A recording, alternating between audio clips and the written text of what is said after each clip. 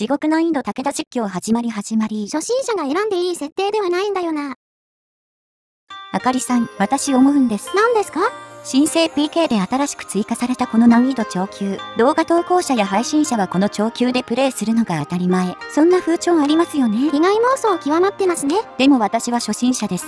長級の弱小大名で生き残るなんて無理無理なんです。上手な方々はなんで生き残ってるんでしょうね。なので私は、長級を超える難易度、地獄で始めようと思います。自制力の金は少ない、米も少ない、兵力の回復速度も内省速度も遅い。ゆかりさんはバカだな。しかし私は初心者です。労力と災害頻度の設定は何卒お慈悲を。うん、完全に振り切れないチキンゆかりん。そちらは難易度超地獄ということで、興味のある方はぜひ遊んでみてね。おらんやるな。シナリオは、私の環境では一番年代が古い1546年、信長元服。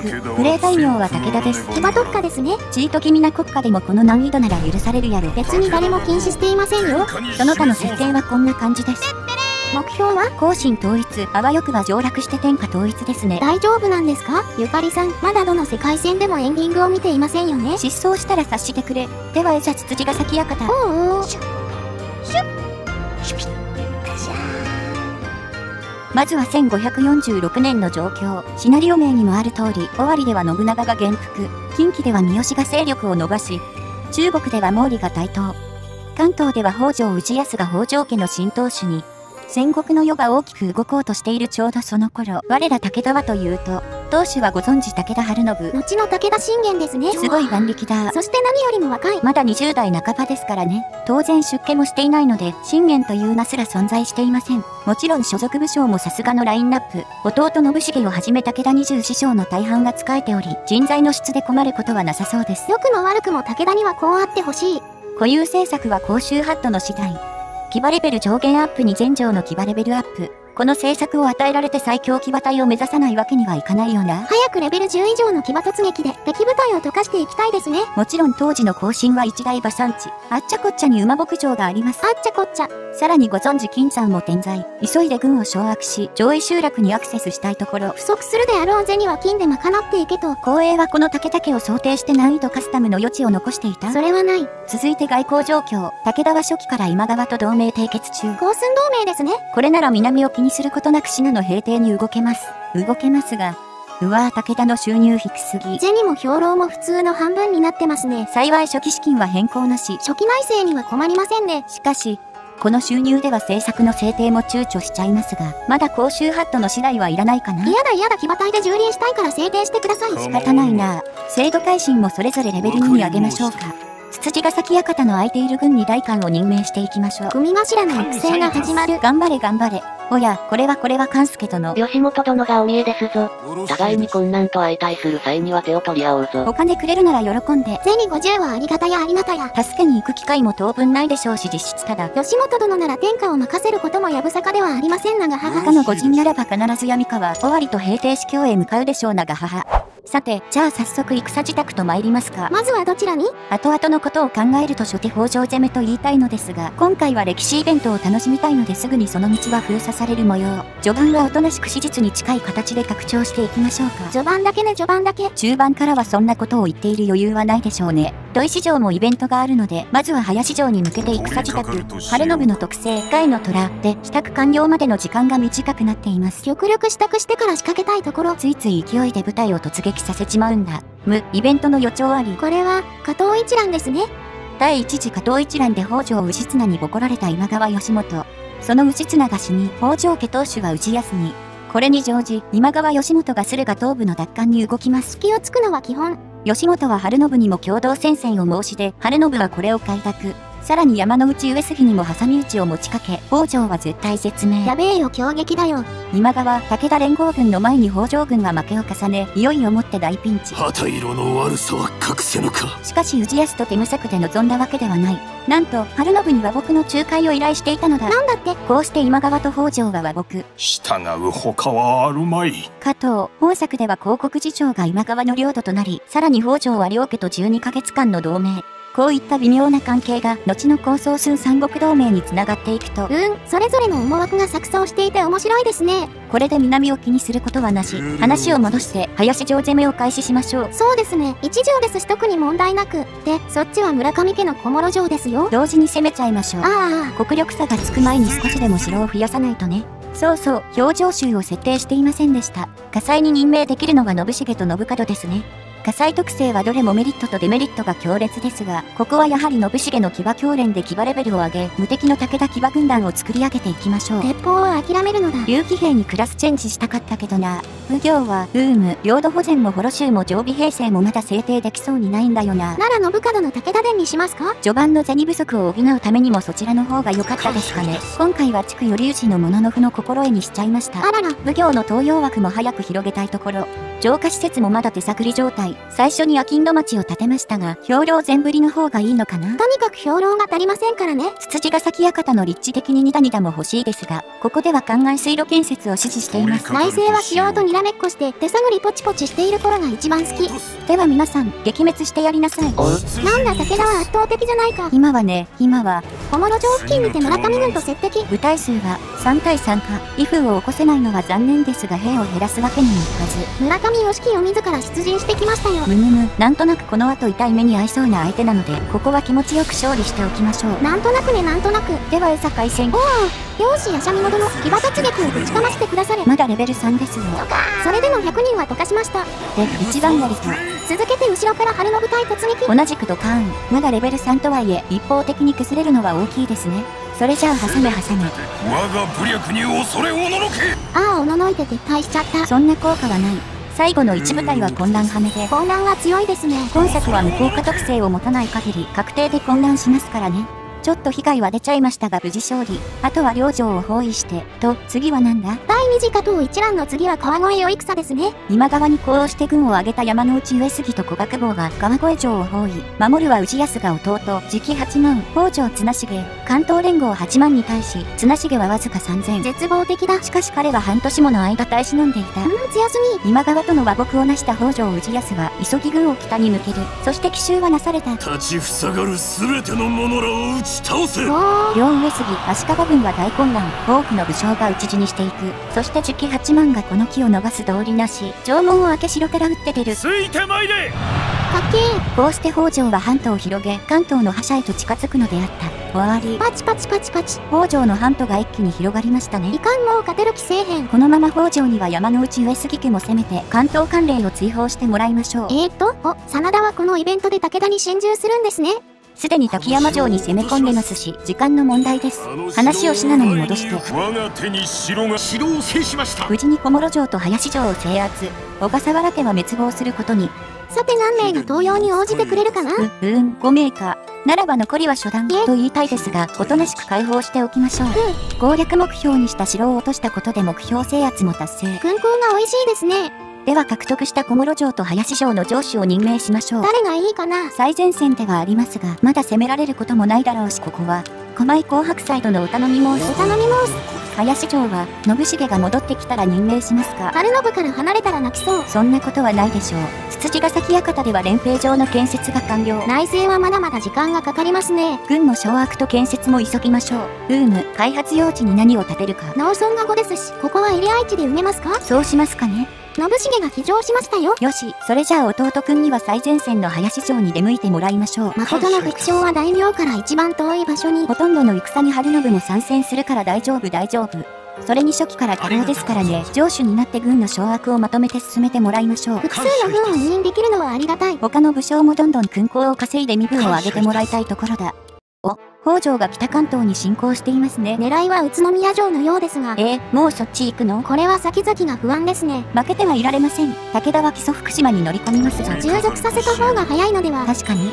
親紅白サイドのいかがいたしました？桂尾城は山地に囲まれた要塞。攻め落とすためにも裏山から部隊を回すための街道を整備いたしましょう。おうおう、それは良き案にございますな。早速整備いたしましょう。街道は自分からは整備できないんですよね。愚神待ちですね。自分で街道を引きたいという思いもありますが。場所によっては移動や進軍がかなり楽になりますからね。ぜひとも整備していきたい。よし、では親方様ご出陣。目標基礎福島城。えー、兵糧がもったいないのでは。それはそう。あーっとそれよりも北条軍が山の内上杉家にとどめを刺しに行きました。うわー容赦ないぜ。よかった同盟関係で。なおあと2ヶ月で同盟は切れるのよ。親善進めてなかった。え？あれこれ時期に攻め込まれるのでは？だ、大丈夫ですよ。氏康もそこまで鬼じゃありませんって。せやろか。城は頂戴したぞ木曽福島城も問題なく制圧。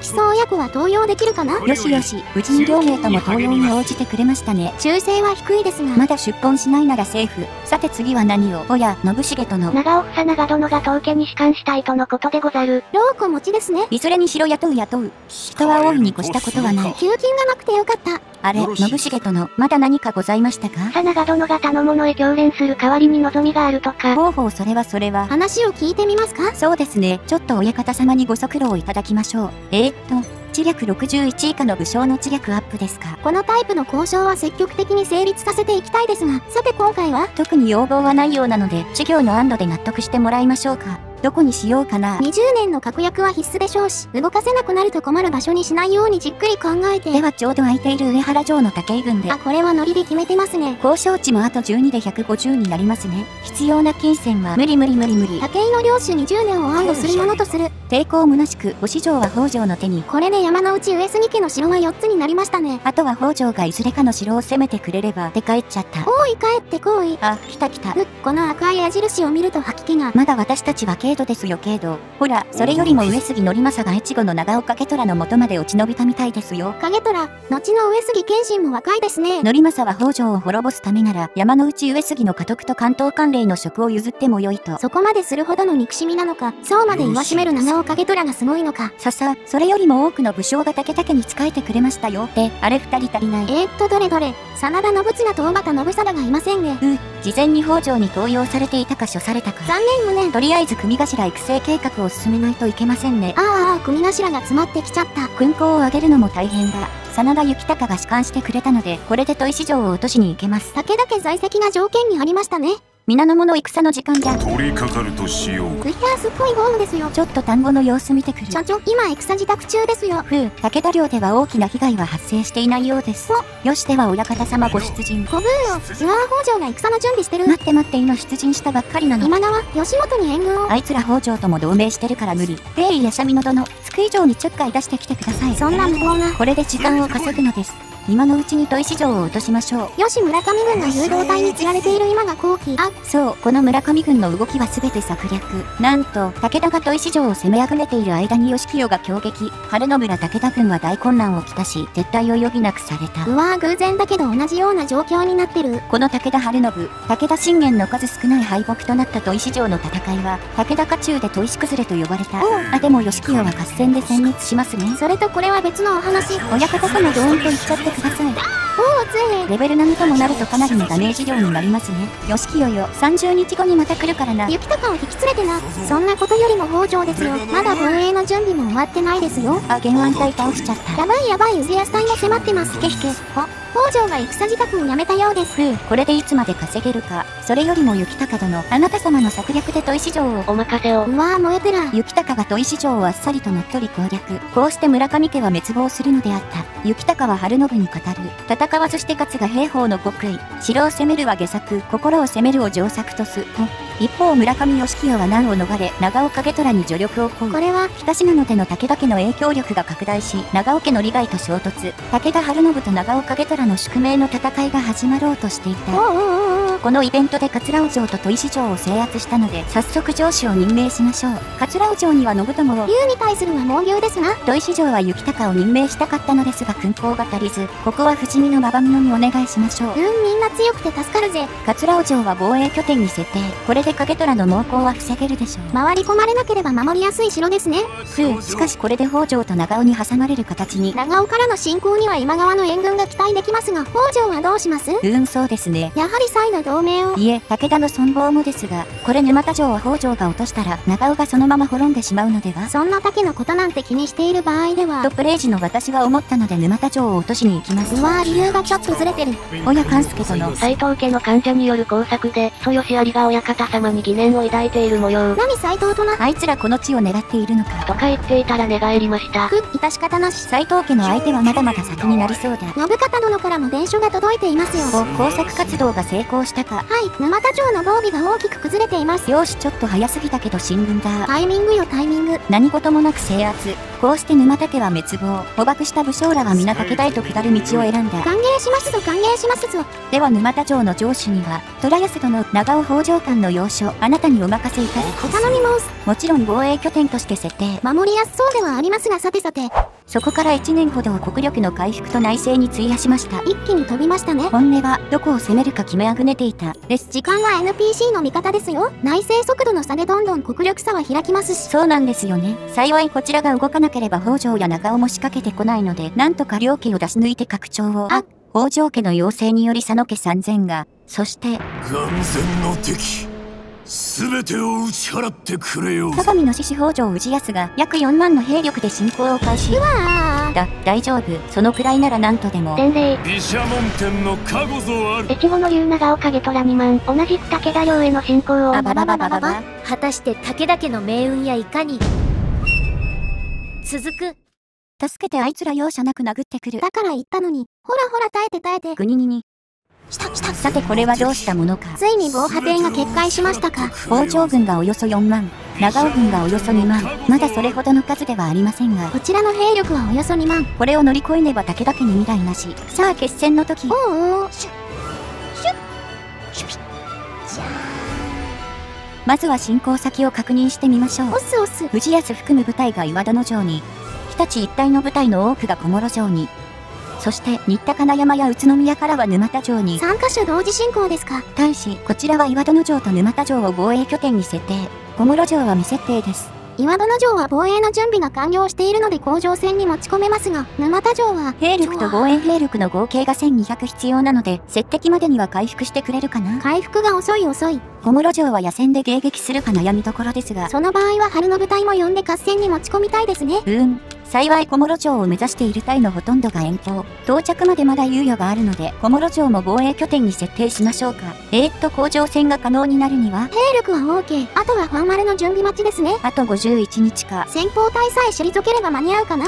以上を踏まえて、岩殿城、沼田城は甲状戦に持ち込んで耐える。小室城は春信含めたいくつかの部隊で、北条先方隊を迎撃。残りはそのまま合戦か籠城か。これで対応できるでしょう。と、思っていたんですけどね。ここで長尾も来ちゃったとう。ぬぬぬ。春信は歓喜してますよ。これは私たちも気合を入れねば。中尾軍は林城と桂尾城が標的。林城は軍が並んでいるので時間を稼げるかな桂尾城は防衛の備えが完了していますね。ふむ、問題は林城の防衛ですか。ところで今川に仲介を頼むことはできないんですか？親善のための費用も馬鹿にならないんです。ほら、月収も少ない上に貯蓄もすっからかん。親善を送る余裕なんてないない。つまり、今川の信用は安定のゼロです。外交とは一体、林城の防衛は要請できるので早速お願いしましょう。よし、各部隊は小室城へ向け出陣。先方隊を退けたらそのまま長岡家虎を迎え撃つべし。北条軍沼田町の包囲を開始、甲状戦に移ります。戦力は兵力差およそ8倍。総指揮も500を維持しています。部隊数が少ないのが幸いか。いざ沼田城の戦い。ゆかりさん、こちらは防衛設備の配置を整えていません。全くこれだから初心者は私か。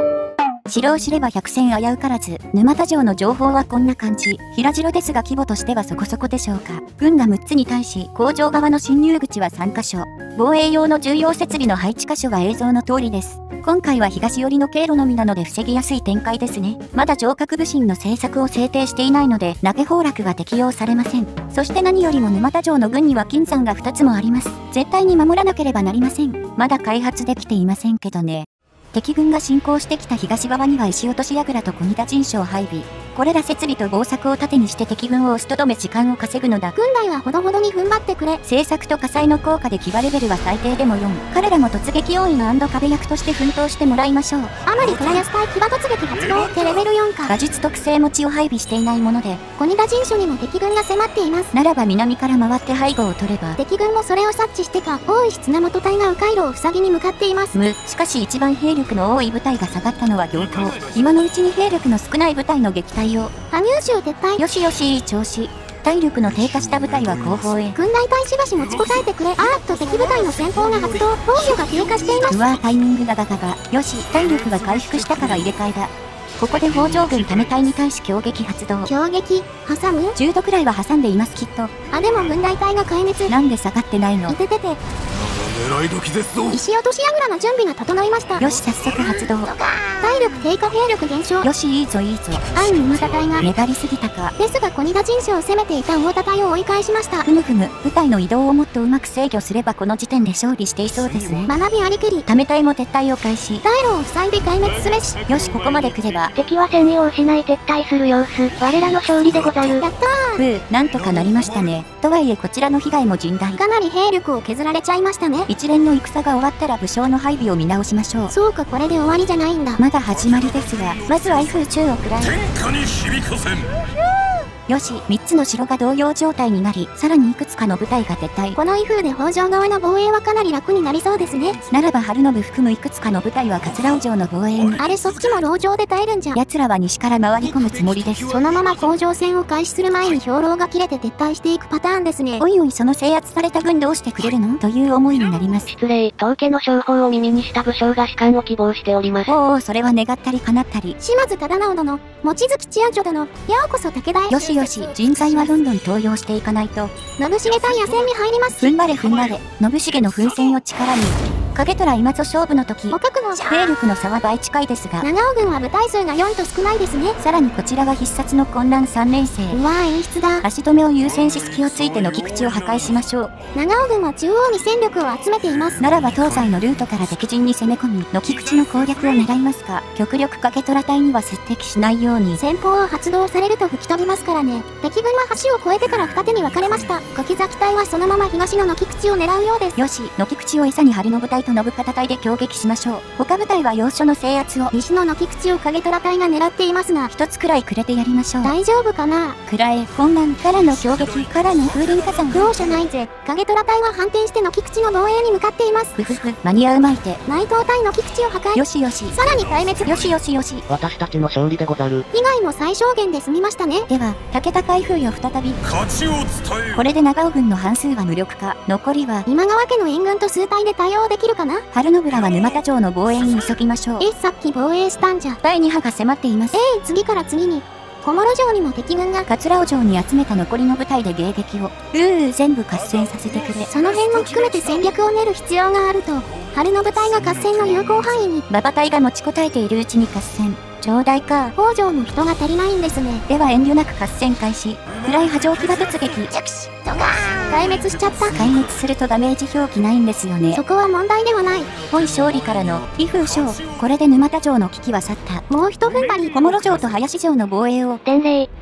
岩戸の城に北条軍が攻め寄せてまいりました。来。たか本命。数は宇治安含むおよそ1万8000兵力差は6.5倍ほどか。ただ腰兵糧をかなり減らしていますね。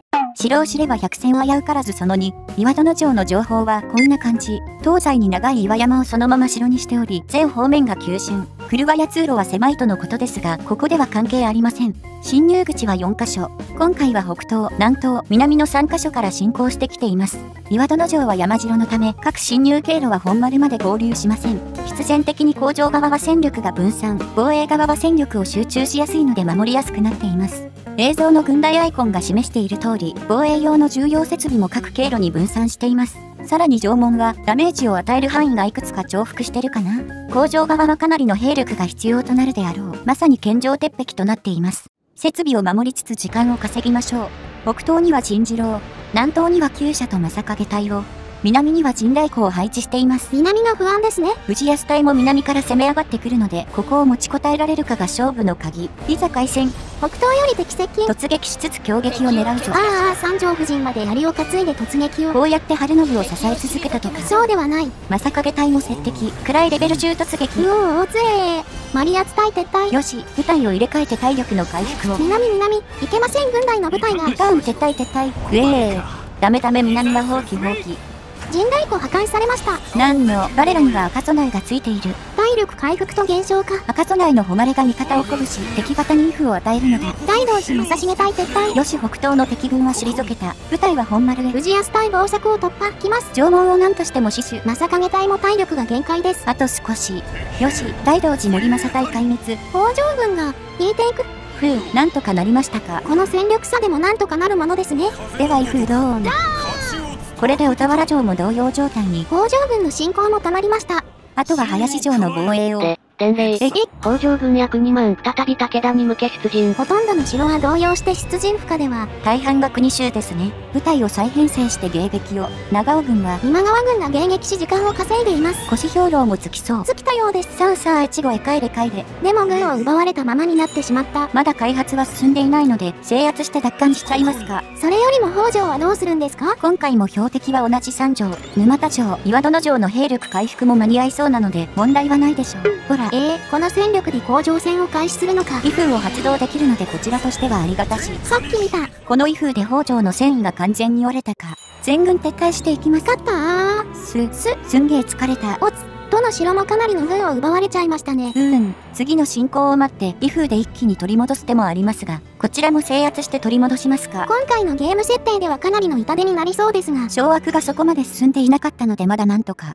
元服を迎えた武将がおりますぞ。どれどれ、諏訪頼忠と、お、武田義信ですね。パラメーターは武田家中では見劣りしちゃいますが、構成や馬術はありがたい。さて、今のうちに反転攻勢と行きたいですが、あこの動きは、立ちふさがる全ての者らをまた来たー今度は3万ですか。4万と2万を撃退できたんなら今回も大丈夫大丈夫。気楽に言い寄って、えー、っと目標は、む、また同じか。耐久と兵力回復がネックになりますね。そんな時は、馬場殿、はここに。沼田城にて強制徴兵を、は、これで沼田城の甲状戦も一度は防げるでしょう。その分掌握が後退しちゃいますが、致し方なし、問題は長尾ですが、軍備は完了していますが目標はこちらではありませんね。目標は柴田城ですか。それならば北条に集中できます。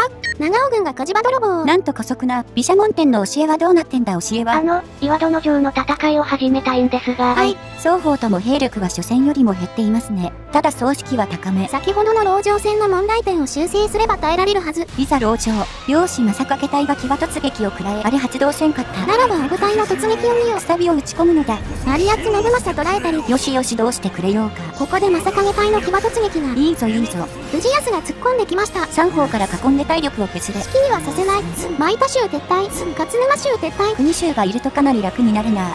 今回は被害の警備ですね。これならもう1ウェーブいけそうですが、その前にイグードローン。これで氏康はしばらくおとなしくなりましたね。沼田城にも北条が。どうせまた国衆中心の時期8万だあ、大丈夫大丈夫。兵力も少なく士気も低めです。いざ沼田城の戦い。しかし毎回東側からしか来ませんね。なぜか今のところ南側の街道を封鎖しないですね。では勘助隊に北側を塞いでもらって、おりゃ強撃。加納州撤退。国衆いつも一番に撤退してるな。北条敗因の8割方は国衆です。悲しいな。勝利。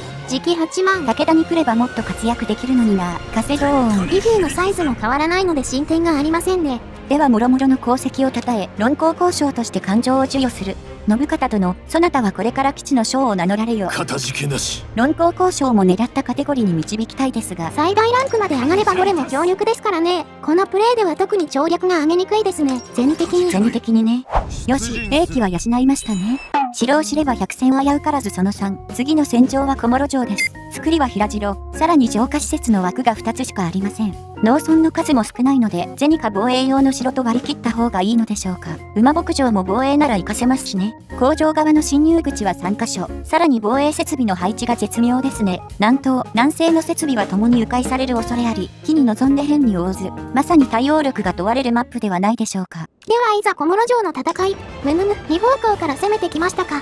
防衛設備は南東に軍楽陣、南西に石落とし櫓、北東に材木庫を設置しています。残り2つは陣城ですね。部隊数は6対6ですし式も低め。ただ、こちらも内政や跳躍向きの武将が中心。手動発動系の設備を活かしたいですね。暗い30騎馬突撃。オールレベル4ではちょっと。一方的に兵力を削れるだけでも十分です。が、体力がすでに危なし。一旦下がりましょう。えー、っと、あれ、誰がどっちから突撃したっけ？他の部隊が邪魔で、元来た道にしか戻れないことが多いのだ。ああ、誰も移動しない。早く早く。ふう、やっと下がれた。危ないな。なんとか優勢勝利。ドーン。早く威風台も発動したいねこ。のままでは状況が変わりませんからね。こちらは自利品です。ここは打って出ましょう。待ってました。目標は、国峰城、津久井城、滝山城、いざ出陣。おうおう。一点構成武田軍の運命やいかに続くあと少し、あと少しで三国同盟。藤安が狙ってますよ。頑張れ頑張れ。AI ごときの甲状戦に負けるものかよ。これがクッコロ展開。したした。構想寸三国同盟イベント発生が1554年から、イベント発生フラグも折れていないので、北条戦のタイムリミットはそこまでです。あと4年か。兵力差は、北条がおよそ4万、長尾が2万7000に対し、武田はおよそ2万。前回北条を撃退した直後ということもあってか、それほどの兵力を有していませんね。荒ぶる春信。大半の城も同様状態なので、今のうちに城をいただいちゃいましょう。まずは津久井城。出陣可能な北条軍がわらわらと湧いてきた。えー、っと敵部隊数は、画面内で11か。威風今日は無理か。ほらほら北条軍の皆さんこっちこっち。こうして自然と敵部隊を引きつける操作を覚えるのか。威風が肝なシステムゆえ。ほとんどのプレイヤーが1年前に通過してるんだよな。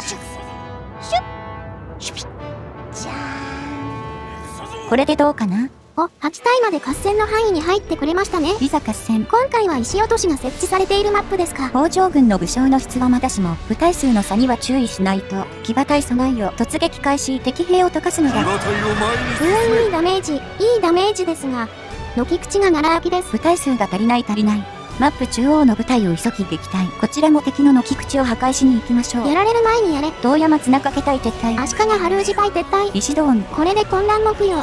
一部隊だけか。春の部隊は軒口の破壊に向かいましょう。こちらの軒口も持ちません。ふう、接敵している部隊はありませんね。早く混乱治って治って。作戦通り兵力を削られることなく回復。AI がもう少し賢かったら負けてましたねこれ。手薄になった軒口を攻めて。この前には消えつといててて、かなりの被害が出てしまいました。藤安や綱重がいたら危なかった。精進します。さて、威風中でどこまで裏返るかな？なかなかいい場所で発動できたと思いますが、お、これは、津久井城と滝山城が武田家に寝返り。よしよし一歩前進。では、津久井城主には正景殿を、滝山城には、秘蔵の花殿にお願いしますか？角湯姫や姫武将は皆さん利用しているんでしょうかね？個人的には、勇ましい姫が増票を鼓舞する姿を想像して楽しんでいますが、どうなんでしょうね？津久井城、滝山城ともに防衛拠点に設定。ふう、やっと北条を削れた。まだまだ先は長いですよ。一気にラッシュをかけたいところですが、兵力以上に兵糧の補充が間に合いませんね。じっくり行きましょう。ということで冬を迎えました。平和な秋を謳歌したのだ。このままでは無駄に時間だけが流れてしまうので、東北の状況を確認して同盟先でも探しましょう。伊達は順調に勢力を伸ばしていますね。芦名も越後、出羽と進出。最上は一条になっちゃったか。長尾、北条ともに接している芦名が同盟相手としては適任かな親善はぼちぼち進めるとして、前回の戦から8ヶ月経過した1551年8月。北条軍が動きました。完全の敵全てを打ち払ってくれようぞ今回の兵力は7万か。北条の方が内政が早いですからね。進行先は小室城、沼田城、滝山城となっています。うわーすっごい進軍だ。申請としては可愛い方ですが、津久井城にも敵軍が向かっています。藤安隊は津久井町が目標でしたかなんだこの絵。虫かな？城を知れば百戦危うからず、ここでは滝山城の情報をチェックしてみましょう。現在の東京都八王子市にあったお城で、北条氏康の三男、氏輝が入城すると大改修を実施。関東でも屈指の城郭だったとか、申請では八王子城へと改名可能ですね。作りは山城、軍の数は5つと、やや小ぶりでしょうか。ただ、城下施設のスロットは4つあり、上位集落には馬牧場と寺があります。金銭用に整備するか、出陣用の城として戦力を整えるか、あるいはカッチカチの防衛拠点を築くか、プレイ方針に合わせて色々な選択肢が取れそうですね。芦名が動きました。北条の背後を突きに来たか、これに焦ったのか北条軍も動きました。まずは滝山城の戦いか、旧部隊1万4000。大使こちらは2500。葬式は？腰兵糧30日分290しかありません。これなら時間を稼ぐだけで撃退できるでしょう。以族表情、今回は3方向から攻め込んできています。全方面に対応しなければいけませんね。防衛設備の配置は、南に小仁田陣将、東に聖籠と忍び陣将、北に厩舎を配置しています。東は聖籠で直接削りつつ混乱を狙い、南北は武将の先方も併用して時間を稼ぎたいですね。北条軍は多いですが、山城ならなんとかなるでしょうきっときっ。とね、では開戦。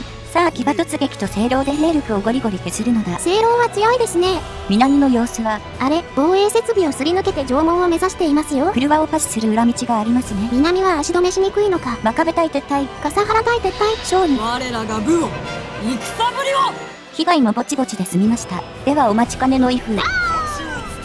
王11の城が同様状態に、城が密集している分、威風の影響力も抜群ですね。沼田城にも北条軍が攻め寄せてまいりました。こちらも兵力差は5倍以上ありますが、腰兵糧が助かる。AI は補給拠点を利用しないのかな？少なくともこのプレイでは見かけていませんが、どうなんでしょうね？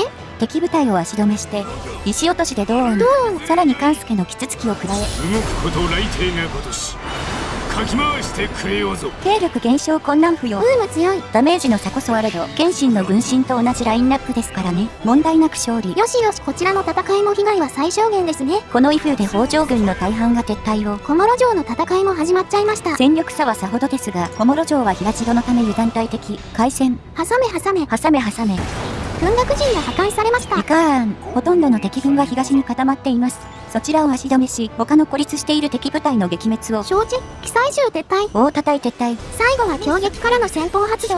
あ、回復された。未部隊撤退危ない危ない。兵力的な被害は軽微ですが耐久は結構削られていそうです。では連戦ラストの威風を食らえ勝ちを伝えよこれで北条のほとんどの城が同様状態に国衆も多く出陣していたので、動員できる兵力はほとんどありませんね。それすなわち攻勢の時国峰城小机城を狙いますいざ出陣。出陣前に失礼小。山正景殿三枝正忠殿を取り立ててはいかがでござろうか。おうもちろんですとも武田24将も続々と揃いつつありますね。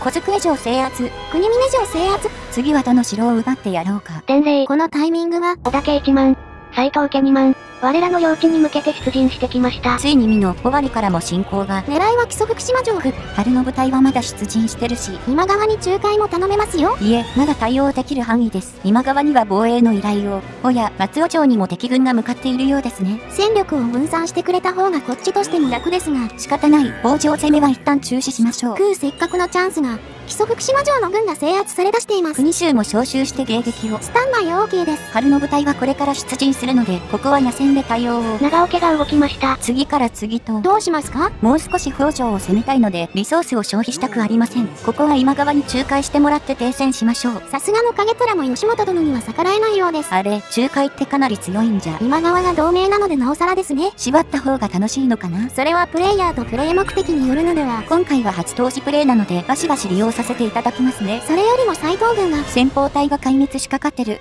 木曽福島を落とされても困りますし信繁にも出陣してもらいましょう松尾城の防衛についている今川軍の危険域に、春の部隊は松尾町にああ吉本の部隊が撤退しちゃった。おかげで松尾城包囲前に撃退できそうです木曽福島も問題なく、で、伝令、なんだ次はどこだ？北条か。長野家急戦が国峰城に侵攻を開始。長野がまさか打って出るとはまずいですよ。周辺は防衛拠点や兵力スカスカの城ばかりです。これは大変です。このタイミングってことは、北条も動きました。ババババババ。狙いは、小机城です周辺大名から綺麗にワンパンずつ食らいましたね。国峰城も小机城も城の耐久が回復しきっていません斎藤家の迎撃に注力しましょう関東の2城は放棄しますこんな展開で城を失うことになろうとは、木曽福島城を狙う部隊は全軍撃退。よしそのまま軍の奪還を松尾城を狙っていた斎藤利政も撃退。老さん自ら出陣していたか西は守れましたが、国峰城は間に合わないか。小机城は、すでに分断されていますさすがにあれは無理ですね。あ、北条3万が滝山城に侵攻を開始しました。食う休む暇がない国峰城、小机城ともに陥落。国峰城は長野家に渡ったからまだマシでしょうか北条軍、津久井城の包囲も開始。むつまりあの時間ですね城を知れば百戦危うからず続いて津久井城の情報をチェックするお時間です。北条にとって非常に重要な城であった津久井城この地は甲斐と小田原を結ぶ要衝のため武田と小北条がしのぎを削ってきました。もちろん神聖でも甲斐と武蔵をつなぐ重要な位置に配されていますね。作りは山城。接続する街道は4つ。それゆえ工場マップも四方から本丸を目指して攻め上がる形になっています。浄化施設の枠が2つなので櫓などを建てるにも限界あり総力戦になるような工場戦ではいくら山城といえど防衛難易度は高くなるかも。もちろん金山の存在も見逃せませんね。武蔵で領土を広げるならばぜひとも抑えたい城です。そんな津久井城をめぐる戦いは部隊数は3ながらも藤安率いる大軍が参戦。超反撃からしてやばい。さらに腰兵糧も万全で総指揮は500スタート。油断はできませんね。今回は南西に聖楼を南東に陣地炉を設置南西は防作の数も少ないでしょうか。大丈夫かなこれ。ではいざ開戦。よし聖楼に取り付いた内安隊を挟み撃ちに。あ待って待って騎馬突撃が発動してる。ああ、もう戻れない。うえー。痛い痛い。ワンパン壊滅じゃなくて助かった。ならばこちらは赤備えで対抗を。うわーこんなに体力減るのか。こ。りゃ強い。いかな氏康といえどこれでは手も足も出まい。このまま残りの部隊で攻撃しましょう。南東の敵軍を攻撃。よしあとは削るだけですね。松井相模の獅子が行くぞお防御アップと兵力回復か十分強力ですが、防衛時はダメージ系よりありがたいですね。遠山綱影隊撤退。もう一頑張り聖楼が破壊されました。氏康一人に持っていかれたなんとか足止めをよし、正影も一旦下がって誘導を。うわー消し飛んだ。く騎馬突撃かでも、宇治安隊は釣りました。なんで釣れるんだ今です北条綱重隊に攻撃を撤退。ふう、兵力が少なくて助かった。あとは氏康に捕まらなければ逃げ切れます。甲状腺ってそういうものだったっけ？優勢勝利。逃げ切った。騎馬突撃怖い怖い。この威風で決着だ。天下に響かせん威風一発で北条は意気消沈してくれました。ならば反転攻勢、またお城をもらいに伺いましょう。北条戦はこの流れに落ち着きそう。威風と同様状態の組み合わせは強力ですね。でもまだ結構な数の北条軍がいますよ。ならば合戦で威風発動を狙いましょう。どこで発動すると美味しいかなあり帰っちゃった。うん？芦名がまた攻め込んだみたいですね。元気やな。ならば武田も背後をつかむ。川越城制圧に向け進行開始。囲まれちゃったね、北条くん。では合戦を。威風弱に届きませんよ。腰兵糧が心もとないので、威風よりも城の方優先。合戦可能になったら手当たり次第開戦していきます。効率的には微妙ですが。何よりも騎馬突撃で敵を溶かし、ついでに脳を溶かしたい。やべえやつだった。このまま押し寄せる敵軍をバッタバッタとなで切りにしていきましょう。冗談ではなく武田強いですね。初心者おすすめ国家でしたねよしよし。川越城制圧。残りの北条軍は撤退していきます。ふう、イベント前に一矢報いることはできたか。この戦の間に、小畑信貞が元服。パート1で山の内上杉滅亡時に武田参加に入っていなかったのは、そもそも元服していなかったからでしたか。真田信綱も同様ですね。失礼塚松下。金山の開発にもようやく着手。銭の輸入も少しずつ生まれてきました。他の金山も順次開発していきたいですね。金山開発が進んだことで、金掘り技術の製作が解禁。早速発令しちゃいましょうか。これで城攻め時の兵力損失を抑えられますね。今から始まる長野攻めには間に合わないかなせっかくなら長野成政存命のうちに打倒したいですね。史実の信玄を変えるのだ。うわぁ、武田軍がゾロゾロと。本気で攻めるが武士の礼節。いざ片岡の戦い。ああでも一部隊では、武将の少なさはいかんとも。兵糧ギリギリになりながらも美濃和町制圧。これで北関東の行軍が楽になりますね。そして時は1553年、武田、長尾、両家にとっての要衝、川中島、信濃を追われた村上義清の頼りに応じ、ついに長尾掛虎が動く。掛虎軍は、千曲川に沿って信濃の諸城を制圧。春信も負けじと、これを迎え撃つべく出撃。千曲川下流にて、掛虎軍の退路を断つ戦術を取る。この動きをいち早く察した掛虎はすぐさま反応。制圧した城を惜しげもなく放棄し、越後へと引き上げていった。両友さすがの采配ですね。越後の竜と海の虎、初めて川中島で顔を合わせた両友の戦いは、不完全燃焼のまま終結。だがこの後、二人は川中島の地をめぐって10年以上も戦い続けることになるはずであった。はず？さらに少し時は流れて、1554年1月、海源氏の古豪、武田家、足利一門の名族、今川家、そして今川傘下から関東へと飛び出した北条家、時に手を結び時に争い、公敵として互いに警戒してきた3つの大名家、武田は死なのに、今川は三河から尾張に、北条は関東に、後輩に敵を抱えた三家の利害が季節して符合する。動いたのは墨染めの軍師、大元節斎。摂斎は武田、北条両家に働きかけ、吉本、晴信、氏康それぞれの嫡男に互いの娘をめとらせる婚姻同盟を締結。ここに構想寸三国同盟が成立した。何を語り、何を思うか。ただ同盟が形成された事実と、諸大名にとっての脅威が誕生したことは間違いない。ということで構想寸三国同盟を締結。北条との領の争いも時間切れですね。国境線は整備したかったですが、切り替えてここからは越後進出。さらに精神を視野に入れて動きましょうか。川中島の戦いもこれからですからね。それなんですが、影虎の北条征伐イベントフラグが折れちゃっているので、それ以降の連載イベントも発生しません。あ大竹滅んじゃった。北条くんさ。一番の見せ場が死滅した本実況、武田家とシリーズの運命やいかに。続く。よしこれで北条に殴られることはなくなりました。散々背後から攻めてくれやがった長尾を粉砕してやりましょう。この世界では川中島のようなバチバチのバトルはないのだ。ただ駐輪すべし。したした武田ナウンと地獄プレイ、斎藤、長尾、長野、北条と四方から侵攻を受けたものの、なんとかウーカウンターを発動。美濃和城、川越城を制圧したところで、構想寸三国同盟イベントが発生。これで今川に加え、南敵北条とも婚姻同盟を締結。東に気を配る必要はなくなりましたね。ここからは散々背後を脅かしてくれた長尾家、斎藤家に武田騎馬隊の恐ろしさを刻み込んでやりましょう。おうおう。シュッ、シュッ、シュピッ。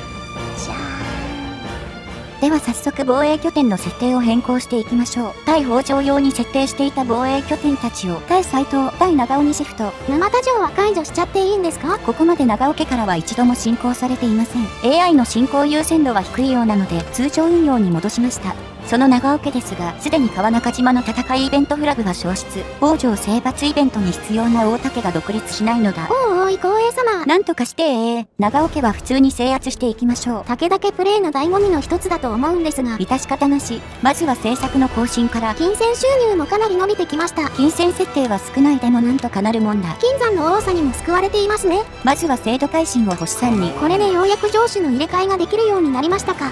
少し経過して、制度改新にも星さんに、補給拠点も解禁。長尾も斎藤もつつじが先館から遠いので、うまいこと利用したいですね。親方様には新たな二つ名を名乗っていただきましょう。過労も増えてきましたね。いかんせん優秀の武将が多すぎて、勲功獲得の優先度に悩みます。贅沢な悩みだ。では長野成政には城を明け渡してもらいましょう。長野家関連のイベントも見たかったな。プレイ開始時に進行順を決めないと回収は難しい。今回は寿命も史実設定なので、読みへ旅立つお方もポチポチと。今までありがとう。人材補強も急務ですね。武将がみんな優しい、明るく楽しい大名です。みんなも主観しよう。武田に士官か。ゆかり殿あかり殿、氏康殿がお見えです。無、援軍と仲介の約定か。今まで散々戦ってきた我らにそんな約定は、もちろん約束するする。恨みつらみも金銭には勝てぬのだ。国峰城は強行で一気に攻め立てて、そのまま略城。我らの隙を突き、国峰城を奪ったその手腕。ぜひ武田家に。お主には使えられん。ダメか。上泉信綱を登用できただけでもよしとしましょう。国峰城の城主には、うーん、ここは三条の方に統治してもらいましょう。内政向きの特性こそありませんが、能力値は優秀ですね。決して春信がゴニョゴニョしたわけではない。度重なる戦の煽りを受け、国峰城の民草の心は統治者から離れています。一から掌握か、こりゃ大変だ。ついでに新旧四天王を中心に、長尾侵攻に向けた武将の移動を実施。まだまだ兵力や兵糧の量も低いので、配置に悩みますが。だがここが一番楽しい。それな？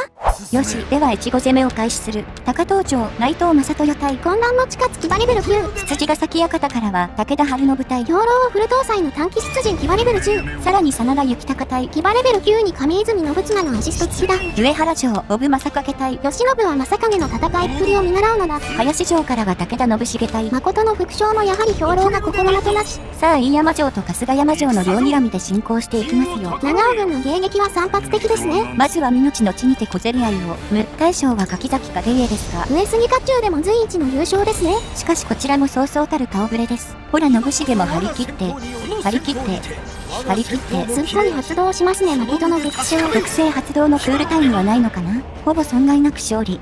よし、5つ目として小諸町から馬場信春隊出陣。鬼皆の能力は、先方での混乱とダメージ無効。まさに献身キラーですね。その献身隊が短期で突っ込んできました。対応できるうちに合戦だ。混乱で動きを止めて、いざ波長騎馬突撃。あ、剣心の越後の竜が発動した。それ混乱解けてない。いろいろ発動してからの、グエー痛い痛い。ああ、油断して鬼見のを前に出さないから。もっと混乱が持つと思ったのに、ふう、やっと撤退したか。軍神でかなり削られましたね。しかしこれで春日山城の兵力は大幅に減少。今のうちに強行で落としきるのだ。敵軍接近。兵力と兵糧を削られたくないので、合戦で迎撃します。いざ開戦。特に語ることもなく勝利。剣心がいなければ合戦も問題ありませんね。まだまだ長尾軍が集まってきますが、国衆も多そうだ。一方こちらはこちらで渋滞中。ああ、兵糧が兵糧が。南の道は細道ゆえ。では斎藤智信と首木の戦いへ。騎馬突撃からの撤退壊滅コンボの時間ですね。こいつはひでえや。全盛期武田は相手にしたくないですね、こりゃ。避ける手段も限られますからね。では威風弱で時間を稼ぎ。天下に響かせん。そのまま春日山町を制圧。難攻不落の城もあっさりでしたね。捕獲した武将は、樋口金豊がいますよ。登用できればいずれ金継も元服してくるかな。4人は登用に応じましたが、柴田長厚が断ったか、勘助殿の王、親方様に説得の依頼を。承知しました。ふむふむ、特に要望はありませんね。では国峰城、戸沢の地を20年安堵しましょう。掌握のしがいがありますよ。よしよし、なかなかの戦力補強になりました。春日山城主には、ここは一条信達を滝山城から移動させましょう。信達なら安心ですね。霊昌院ちゃんにも民を治めてもらいますか。大丈夫なんですかね？まだ慶喜とは新婚では。大丈夫大丈夫。春日山城は防衛拠点にも設定しておきます。なお、今回は春日山城を普通に強行で落としてしまいましたが、それでは面白くないなと思い、越後侵攻前のデータから甲状戦を仕掛けたプレイを別撮りしています。本パートのラストに実況しているので、そちらもお楽しみくださいお。楽しみに。では話を戻して、別動隊で包囲していた飯山城と坂戸城は、飯山城はもう少しで落とせますね。一方、坂戸城はちと厳しい。撤退撤退、おっと勘助殿。斎藤家三万が我らの領地に向けて出陣しました。今回は織田の援軍はなしか。では今川に防衛を依頼して、時間を稼いでもらいましょう。その間に長尾さんに型を。あ、飯山城が起きた。よしよし、これで甲信統一を達成。誠にめでたい限り。うんうん、信繁も喜んでますね。今回のプレイで信繁に愛着が湧いちゃったぞ。実績ピロリンも来ましたね。やっと地方統一か。しかし武田家の物語は終わらない。天下統一を目指して続行だ。天下平定までは、残り85条ですね。まだまだ先は長い。1555年、今川家を、吉本を支え続けた大元節祭。その炎が今はらりと燃え尽きた。今川の両輪である吉本と節祭。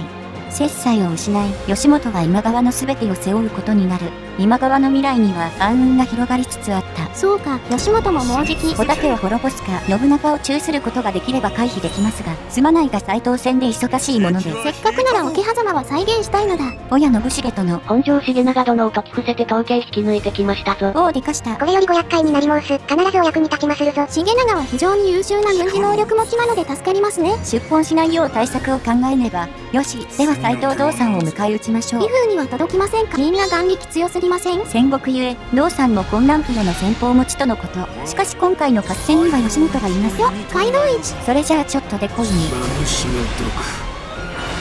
というほど味わうがよい道さんのカットイン気合入ってるな。斎藤家プレイも面白そうだ。道さん相手となると、混乱やギミックなしではかなり削られちゃいますね。斎藤軍迎撃部隊は撤退しましょうち。ょっと待ってろよ斎藤家。後でお邪魔するから。金銭収入もようやく波に乗ってきましたよ。春日山城をほぼ掌握を崩さず確保できたのは大きい。温泉や寺の開発も進んだことで発令可能な政策も増えてきました。まずは労力消費を抑えるために裁量権以上を、兵糧収入を底上げしてくれる海上輸送。照さらに領土保全も発令。ひとまずはこんなところで。失礼、織田信清殿が当家に仕官したいとのこと。あれ、もう信長の元を離れたのか。織田の伝えは利用を考えたいですが、のんびり勲功を貯めますか。長らく孤立していた三月家にも従属化を要請。この世界戦では姉が工事継承はなしか。えー、っと三月義頼を戸様火災に迎えると、最大兵力アップと兵糧収入減少か。まだ兵糧収入的に厳しいかな。もし、では越後侵攻再開です。とはいえ長尾家にどの程度余力が残っているか。北条城と坂戸城を両睨みで、長尾軍は坂戸城の防衛に戦力を割いていますね。合戦を挑み一掃しましょう。サネよりも毎度大変だ。戦向きの能力ではないんですけどね。兵数は同程度でも幾度となくお届けしてきた騎馬突撃に加え、くらい、恐怖のダブル赤備え。オーバーキルにも程がある。そのままの菊池を破壊して、ちょっと被害が出ましたが問題なく勝利。合戦の感覚が麻痺してきた。威風弱で軍をひっくり返して、そのまま坂戸城の包囲を開始。北条城側にも敵軍の防衛部隊が。信春と信繁といえど厳しいか。よし、坂戸城制圧。捕虜は、上杉頼政が。さすがに武田には来ないでしょう。そんなことはなかった。あらら、坂戸城を落とした部隊はそのまま土地を城へ。一部の部隊は兵糧が持ちそうにありませんが、長尾軍を撃退するまで粘ってもらいたい。謙信隊が北条城の防衛に。う、春の部隊は土地を城攻めに組み込んじゃった。兵力が少なかったのでなんとか。北条城の制圧は厳しいかな？よし、土地を城制圧。結局腰兵糧はギリギリに。距離がきつくなってきましたね。土地城は本拠から離れております。配下の軍団に統治を任せると良いでしょう。統治班以外ですか？軍団は作成しますか？うーむ、越後の城は長尾家と決着をつけるまでこのまま直轄運用します。出陣まで管理するならそうなりますか？本拠の移動を縛るかは考えておきます。おや、あれは親方様と虎津などの、高坂の名跡、最も信頼するお主が継いでくれぬか？は、身に余る光栄にて。こうして春日虎綱から高坂正信に改名。改名イベントは名前が変わるだけとはいえ、ワクワクしますね。武田は特に多い印象です。少し内政タイムに入ります。まずは浄化施設の建築方針を指定しましょう。労力がかからなくなりましたからね。新軍が選べる城は新軍を優先しようかな。三条の方の身分が上がったので早速指名。そのまま後期の誉れを発令。武田は最初から威信が高いので、部隊能力補正もさっくり適用できますね。あとは縁組を。本庄重長の忠誠が8なので、ここが花ちゃんをめとってもらいましょう。猛将と竜騎兵持ちの花ちゃんか。優秀な武将が生まれそうな組み合わせだ。では進行再開。兵力もわずかですし、苦労せずに落とせる栄謙信。越後の竜ばっかり発動しよって、ならば合戦で勝負。この部隊数なら完封も夢では。待って待って軍神はダメダメ。馬場美濃さんを最初に当ててくださいよ。騎馬突撃で部隊が吸い付いちゃった。ふう、やはり強敵よ。そのまま北条城を制圧。ここは、雪高に城主を任せますか。つつじが崎館からの出陣は春の部隊に集中します。後続の部隊と合わせて四田城も制圧。順調順調。柴田城は、さらに遠いな。立川足名に落としてもらえますか。織田家のドタ御前様がお見えでござる。織田？気が熟してのち、武田党だ。この乱世を収めるべく、手を結びたく思っておりまする。同盟の約定か。織田は何とも言えないですね。正直今川と協力して攻め滅ぼした方が楽ですが、ひとまず承諾しましょう。ふう、ようやく周辺の状況況が一段落したので、ここからは斎藤攻めですか？そうですが、ここで春日山城攻略に挑戦してみましょう。途中で話していた件ですか？というわけでドン、越後侵攻前の状況に戻ってきました。よしまずは合戦で出陣している部隊を撃退しましょう。道が細くて威風強達成までは難しいかな？なんとか威風中は発動できそうです。いざ開戦、まずは西側が停止だったので、秋山隊で拠点を制圧。からの突撃、挑発、先行、壊滅、春の部ダブル攻撃、橋落とし同音。綺麗に決まった。そのまま残った部隊もゴリゴリ削って、前哨戦勝利。被害もそこそこ出ちゃいましたね。甲状腺に影響が出そうだ。威風の範囲が、お、これはいい感じに伸びてますよ。飯山城、坂戸城、さらに10の軍が寝返り。よしよし、かなり裏返ってくれましたね。では春日山城に進出。甲状腺の兵力差はち、ょちょ、これはさすがに厳しいのでは、工場側で兵力は倍にも満たないですし、不陣地点も北と南の2カ所のみ、何より腰兵糧が30日分しかありませんよ。侵略すること火のごとく、先の威風の勢いのまま攻め落とすのだ。あーあー、聞いちゃいない。こちらはほぼほぼフルメンバーを揃えています。南側からは晴れの部隊はじめ、雪高隊、信春隊、信友隊、虎正隊、花隊、対する防衛設備は石落とし櫓と陣太鼓。石落としの発動は防ぎたいところ、北陣には正影隊、信重隊、正豊隊。そうそうたるメンツだ。防衛設備は正楼と厩舎ですね。こちらも正楼の破壊を急ぎたいですが、問題は葬式。敵部隊を早めに撃滅して指揮を確保したいところ、幸い AI は防衛時の動きが緩慢です。遠慮なく攻撃して削っていくぞ。南側は3方向から、北側の岡備発動からの、攻撃、何の虎正隊の岡備もここに至より、石落とし櫓の発動が目前です。もう少し、あわや勝久隊撃破、どんどん押し込め、石落とし櫓破壊、葬式も盛り返しています。さらに川田長近隊を撃破。北側、正豊隊が正楼を破壊しました。そのまま駆け上がれ、体力が低下した部隊を後方へ。最上吉森隊壊滅。さらに陣内湖も破壊。南城門へ急げ。影虎が城門で待機しています。先行は発動可能か。ならば今度こそ鬼美濃の能力で、虎正隊騎馬突撃で突っ込む。鬼美濃の存在を完全に忘れてますね、これ。行くぞ心に義なき者らを蹴散らしてくれんああ、兵力が半分溶けちゃった。城門の範囲内で混乱は痛い痛い。そのまま壊滅。いててて。ですが北側で小笠原信貞隊を撃破。よしよし。暗え、風林火山。今がその時ぞ本庄重長隊壊滅。あ、そっか。この世界ではまだ引き抜いていないのか。すまぬな別世界の婿殿。厩舎も破壊しました。そのまま本丸を包囲せよ。大井田影国隊撃破。柿崎影家隊撃破。残り2部隊。南城門も突破しました。影虎に引導を渡してくれよう。あーっと軍神2発目だ。思い出せプレイ時の私。この低たらくになえたのか正豊隊撤退。さらに正影隊も撤退。何の武田には信重がいる。誠の副将を見よ。影虎隊の兵力もあとわずか。体力が回復した部隊を前へ。やりました。影虎隊壊滅。よし、葬式も間に合いましたね。樋口金豊隊壊滅。やった。すべての敵部隊を打ち破りました。我らの大勝利でござる。なんとかなったか。さすがに兵力は大きく削られましたが、武田騎馬隊の強さがあればこそ。このくらいの兵力でも勝てちゃいますね。では最後に春日山城からの威風を喰らえ。早きこと風のごとく勝ちを伝えよう北条城、与板城が寝返り。よしよしよし。土地城は健在ですが、先ほどのプレーとほぼ同じ状況になりましたね。最初からこのプレイングができていれば。ではこのプレーはこの辺で。ああ、綺麗な越後領土が。次回の実況は最初に越後侵攻を完遂したデータの続きです。果たして武田家の行く末は？続く。ここから見せ場はあるんですか？すべてが見せ場ですよ。プレイしてる側はそうですけど、正直合戦では負ける気しません。騎馬突撃と戦法が強すぎて。弱小大名でプレイできない体になっちゃいましたか。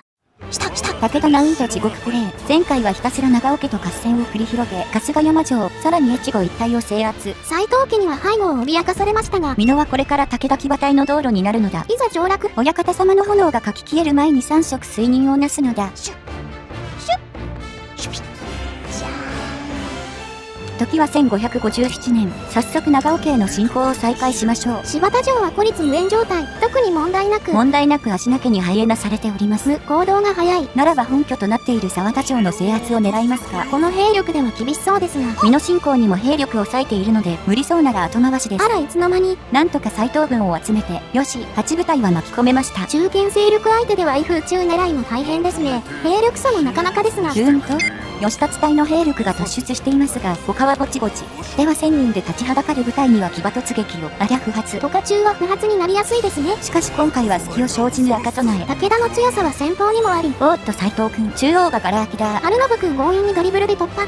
ゴール、信繁くんの木口を破壊した、みたいなことを考えながらプレイしていました。アホですね。この威風は、おおいい感じ。岩村城、金山城が丸ごと手に入りましたね。斎藤家は大きく弱体化、織田も臨戦態勢に入っています。稲葉山城は先に抑えたいですが、ダメみたいですね。行動が早い早い。一方沢田城の様子は、む、これは厳しい。まだ片手まで落とせるほど弱体化していませんな。撤退撤退。哀れ稲葉山城は織田が制圧。このままでは今日に迎えません。この後期逃すわけにいかず、耐久が削れているうちに攻め込みましょう。織田の方が兵力は上ですが、大丈夫だ。すまんが押し通りますよ、うつけ殿。織田軍は6部隊か。ちょっとぶつかるのが早すぎましたか。織田軍はやはり鉄砲隊が怖いですが、天気は陛下の発生に影響ないんでしたっけ？という話を聞いています。今回も兵力の少ない部隊を壊滅させてからの木口を狙って、兵力の大きい部隊は足止め優先。織田家もタレント揃いですが、ポテンシャルを発揮できるハントではありませんね。威風ドーン。ありゃ、稲葉山城すら寝返りませんでしたね。むむむ。ではこのまま制圧しちゃいましょう。さらに大垣城も制圧。うむうむ順調順調。さらに欲張って犬山城も。手腰兵糧が限界か。次回に持ち越しですね。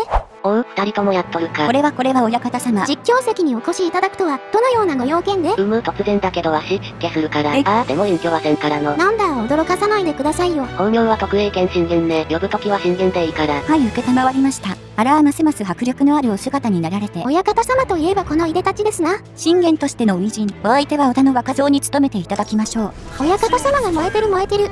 織田の城が分断されたところで、そのまま犬山城、名古屋城を制圧。さらに清洲城も攻めますか？いえ、越後や北信濃の城の兵力が回復してきたので、先に越中へ進行しましょう。長尾ともそろそろ決着ですか？できればこの進行で終わらせたいところです。魚津城と沢田城の同時進行。美濃と尾張が一段落したので、戦力は全てこちらに。北条が攻めてこないって幸せだな。まずは魚津城で合戦を。む、斎藤智信は強敵ですよ。そうですが長尾軍の部隊編成が、兵力数の偏りが。どうせみんな騎馬突撃でいなくなる。はい、魚津城制圧です。沢田城は甲状戦になりましたが、兵力は十分ですね。これなら楽勝。やめて軍神様やめてやめて。あ三条の方と雪高の撤退を許すも、最後は混乱で影虎隊を固めつつ、本丸を落として無事勝利。あ、やはり甲状戦は油断ならん。佐渡からの威風は、本西に飛んでいった。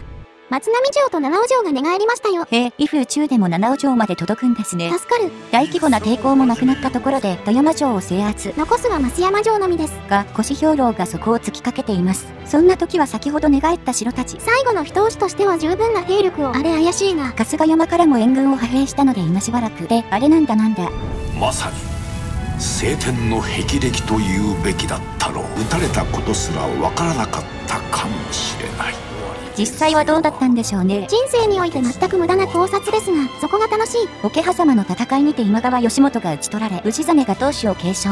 今までありがとう義元公。松平も大名として独立しましたね。従属化できそうですがどうします？もちろん攻め滅ぼします。松平家の優秀な家臣たちを早く戦力に組み込みたいのだ。ほら、台風も邪魔しないから早くしろって。うわー九州をねっとり巡回しましたね。そうはならんやろな。しかし松は長尾です。増山城を制圧せり。龍子ここに決着。さて、お楽しみの東洋タイムですよ。長尾は数こそ少ないですが粒揃いです。もちろん目玉は影虎当人。断る、はい。初段した方が後々のためですが。いや、ここは解放して次の東洋チャンスを待ちましょう。信玄と謙信はセットにしたいのだ。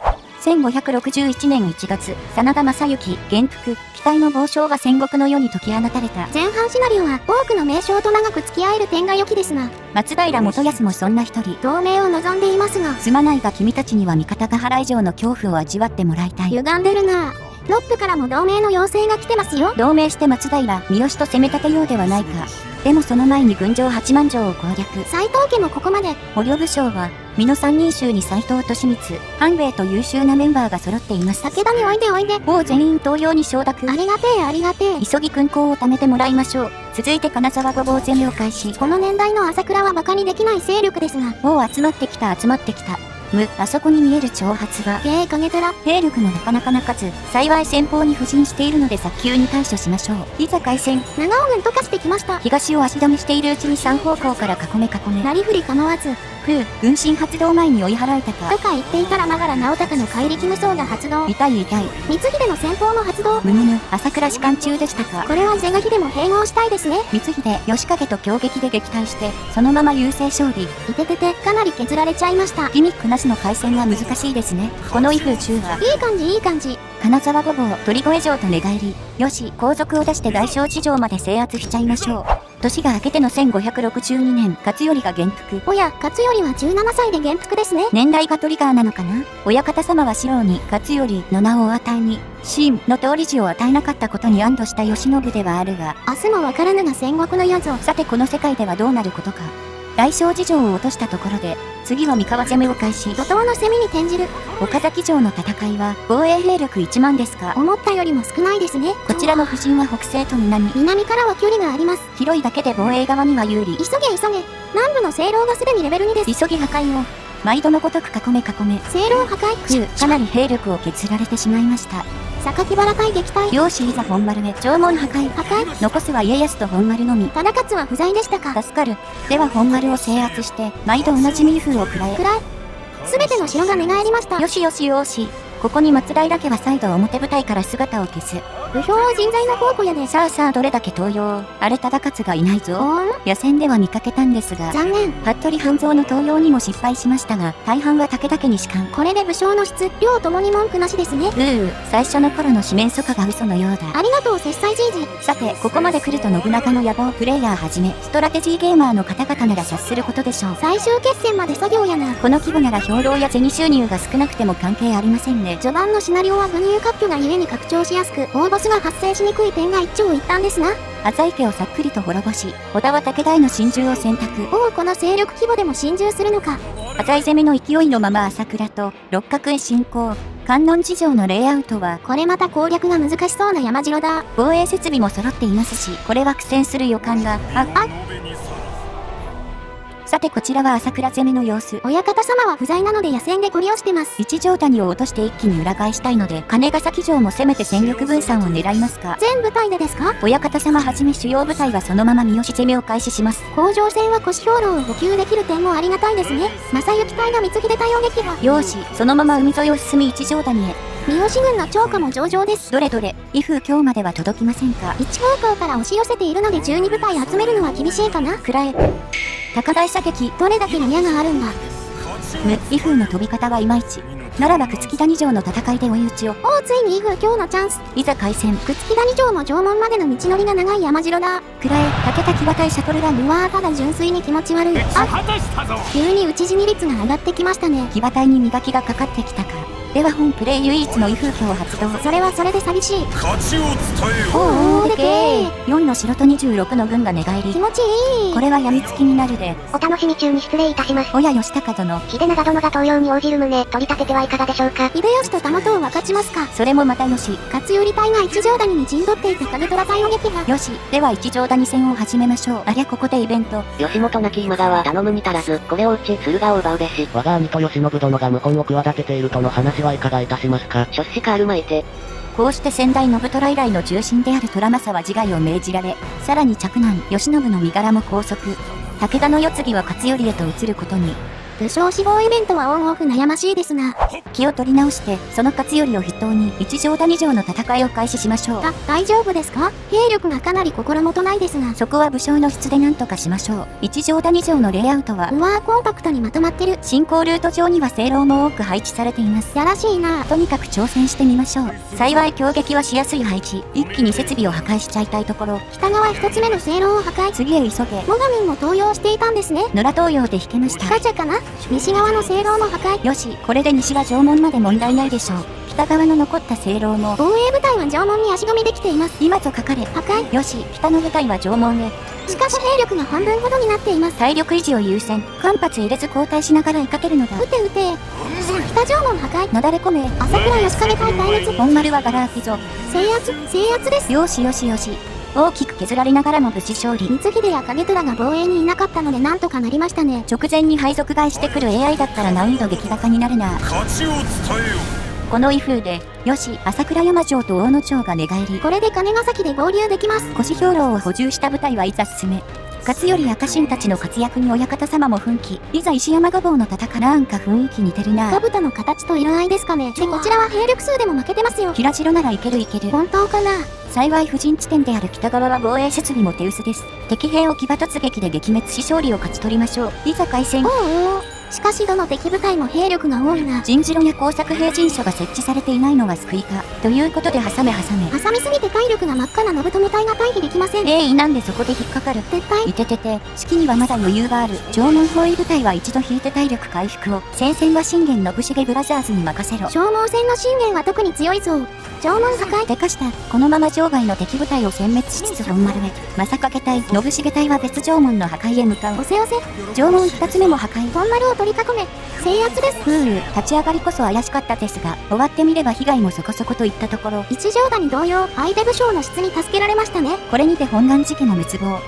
腰兵糧を再度補充したことで、三好家の城も狙える形に、浅井攻めからぶっ通しです。甲状腺が補給拠点になろうとは、金ヶ崎城、岸和田城、高谷城と立て続けに制圧。もう誰も止められぬ。伊上城の荒木村重。さらに花熊城の内藤宗勝が降伏するとのこと。よしよしもちろん両城降伏を受け入れますぞ。一気に機内制圧が叶いましたな。ところ変わってこちら駿河遠江、慶喜が敗着となったことで今川との婚姻同盟は破談。つまり侵攻すると。はい、このために本拠は未だつつじが先館ですから。よくそれで堺まで粘ってましたね。さあ織田も呼んで景気よく進行しますよ。今川から見れば絶望そのもの。駿府館の戦いは、足りぬ。兵力も設備も足りぬのだ氏真。勝ちを伝えよ2分は西に飛びました。残すは二俣城と広告寺城の2城。そのまま制圧しちゃいましょう。一時は指折りの勢力であった今川。1566年、ここに滅す。最後のきらめきは一瞬にして儚し。どれどれ武将は、ほや、忠勝は今川に仕官していましたか。受刑にこそ断られましたが、他有力どころは東洋に応じてくれました。正直もうそこまで出番が。まだ間に合うはず。中国侵攻も再開しております。三木城の戦いを皮切りに、別所家、畑野家、赤松家と滅亡。さらに天霧城を制圧し、三好家も滅亡。これで毛利家とがっつり隣接。武田を除けば、東の北条西の毛利という勢力図です。本プレイのラスボスは毛利に務めていただきましょう。神聖のラスボスとしては小ぶりですが、前半シナリオゆえ致し方なし。1567年10月、親方様はついに本拠の移動をおフェチなさった。向かう先は当然二条御所。あれてっきり最後まで縛るのかと。特段面白みがないことを察した親方様である。それはそう。で、移転用の銭がありませんよ。ないなら工面すればいいじゃない。借金システムは存在しませんが、兵商人、うちの兵糧と、そうだな親方様秘蔵の家宝もずずずいと買い取ってください。ちょちょちょ。ほとんどは家臣らがいずこからか見つけてきたものですよね。うぐぐ、そうではあるが、それを家臣にすら与えないなら銭に変えましょうぞ。贈与しないのはお主らが指示しないから。ね。はい。よし、ジャニク面は完了です。では二条御所に移転しましょう。もっと西の方がいいのでは？上洛なら二条御所でしょうが。は、はい。金銭収入は大赤字になりますね。軍団を作成すれば多少は改善。はい、赤字です。おい家康殿、政策の見直しを頼む。へいへい。その収入はこのくらいか。再制定のコストは金銭だけですか？優しい仕様だ。現状必要な政策を選定して発令しましょう。さてそれでは毛利戦を開始しましょうか。おうおう AI よろしくぞろぞろと進軍を。この辺りは城も多いので、部隊を待機させておくにも困りませんね。毛利軍の動きは、山陰山陽に部隊を分けています。む、こちらが部隊を分けたことが裏目になっちゃいましたか。最初は片方に集めていく右京を狙いたかったですね。親方様には申し訳ありませんが、中国大移動を繰り返してもらいましょう。この隅城制圧。吉松はこちらで敵を迎え撃つ。あ、でも部隊数がそこまで。もう少し待ちますか？いえ、沖塩城が危ういのでサクッと合戦しちゃいましょう。被害警備で勝利。さあ道を開けよ。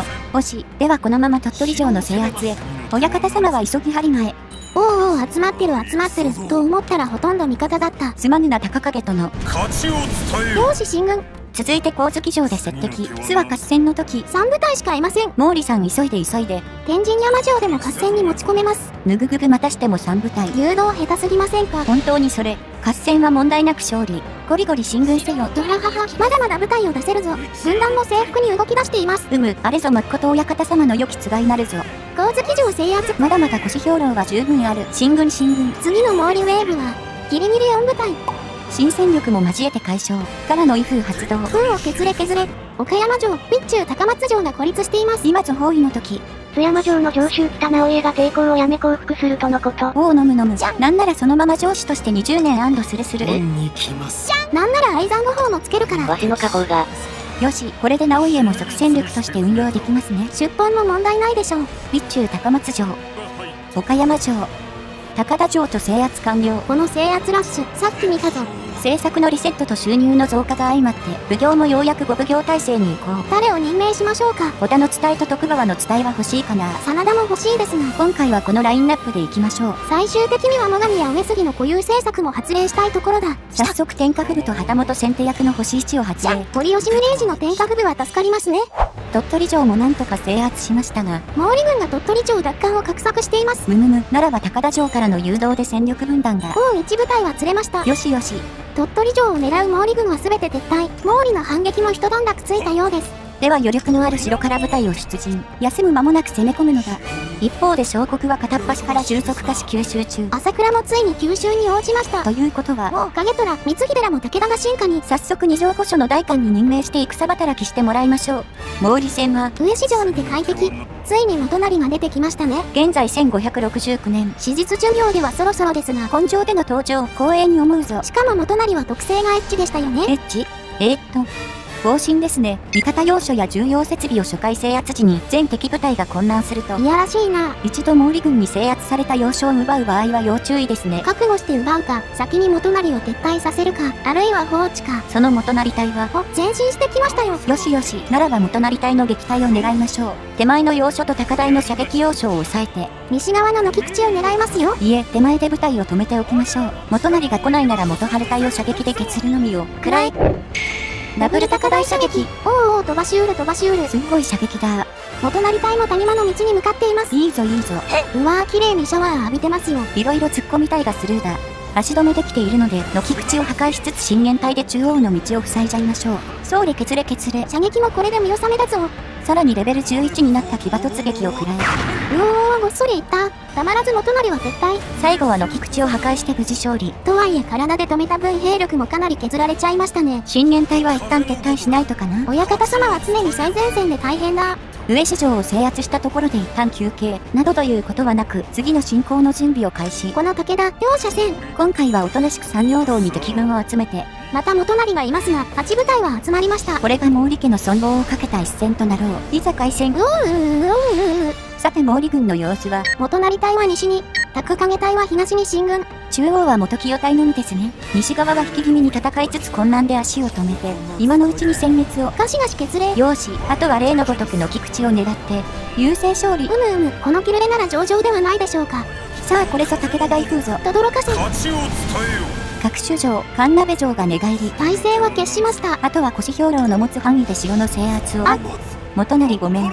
そのまま一気火星に毛利の城を落としていき、もはや毛利に抵抗する力はありませんね。比叡山城を制圧したところで、よし、こんなところでしょうか。いやー一気に攻め立てましたな。すっげー楽しかったぞ。では西国は松潤、元井元康殿に統治していただきましょう。あれまだ終わりじゃないんですかまだ機内の城を制覇していないのだ。ああ、小田か。織田はすでに従属中。なら放置ですか？いずれは吸収も可能でしょうが、しかし親方様からご命令がありました。え、一体どのような？わし、あと2年くらいしか持たないから、その前に織田をなで切りにして。とのことです。絶妙に寝たいな。一度信玄死没までに従属吸収できるか試してみたのですが間に合わず。そもそもこのサイズの従属大名は吸収できるのか？せっかくなら親方様に3食睡眠を受けていただきたいので、すまぬうつけ殿。臓腑が煮えくり返るすっごい怒ってるじゃないですか。そりゃそうだ。ちなみに今後のアップデで、従属大名がいても3食睡眠エンドは達成できるようになるとか。うわーこの世界線の小田は完全に貧乏くじ引きましたね。やってくれるわ